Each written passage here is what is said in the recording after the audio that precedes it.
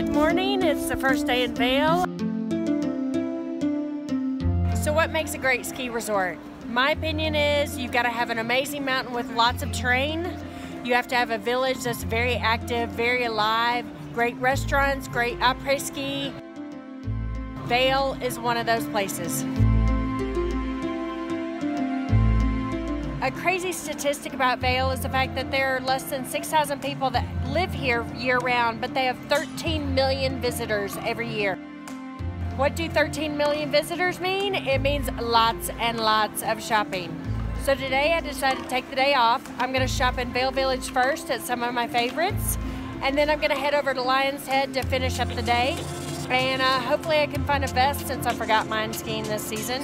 Maybe find a t-shirt, coffee cup, find some fun things to take home.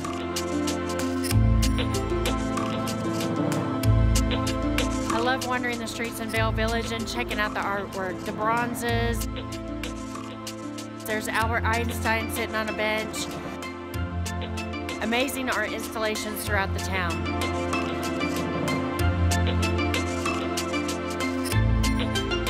So I'm finished up with my shopping in Vail Village. I'm headed over to Mountain Cupcakes, which is my favorite way to end a shopping day in this town.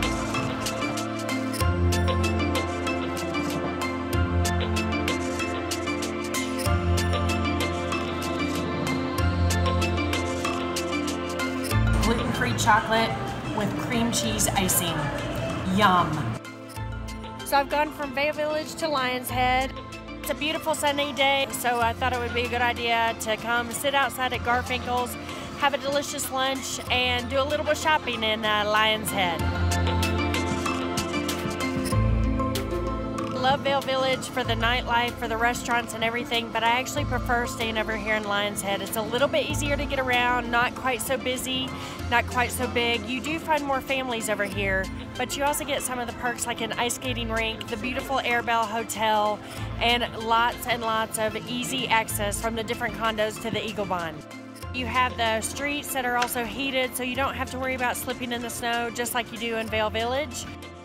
And some of my favorite places to stop in over here are Performance Sports, where I do lots of shopping every year. They have beautiful clothing for women and clothing for men, but I prefer, obviously, the clothing for the girls. I like stopping at the Chop House, seeing Phil Long on Wednesday through Saturday nights.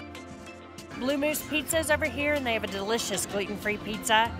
I love shopping at Patagonia and Smartwool as well. Definitely out to do some shopping today.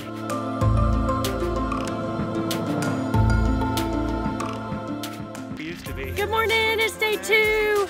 Dad arrived last night safe and sound, even though we had two feet of snow. And look at this gorgeous, gorgeous, gorgeous, gorgeous weather. So excited to get out there. Here we come, Vail.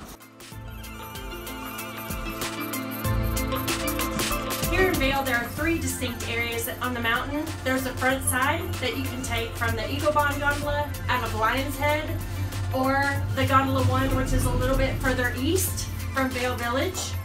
So you can ski the front, a little more intermediate, or you can ski the back bowls, which is China Bowl, Mongolian Bowl, wide open glades, absolutely spectacular, great snow, uncharted territory that way as well. Or you can see the very, very back, which is Blue Sky Basin. Blue Sky Basin is not open all the time, but it's definitely worth the trek if you're uh, an active and advanced skier.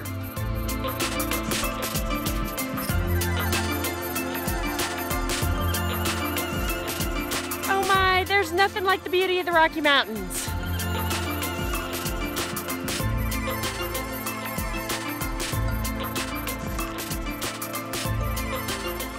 We are at Bistro 14. We decided not to eat at the cafeteria upstairs. Sometimes you need a sit-down meal, and honestly, the salmon salad and the chili cheese fries are so delicious.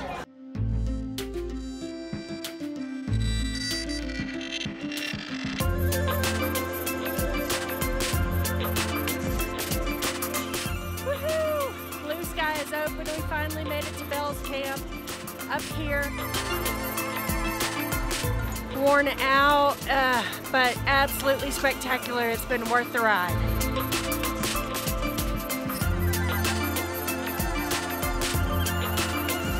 So it's the last night in Vail. I've finished my shopping, I've done my skiing. It's been a fantastic trip. And I am ending my last night at Mountain Standard, which is my favorite restaurant in Vail.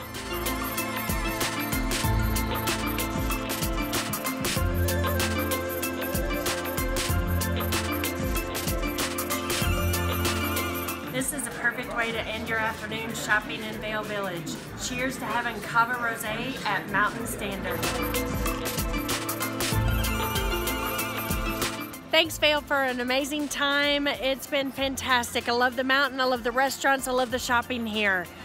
If you'd like to learn more about the Abundant Traveler tips and um, places to go and places to see, subscribe below, and I look forward to seeing you soon.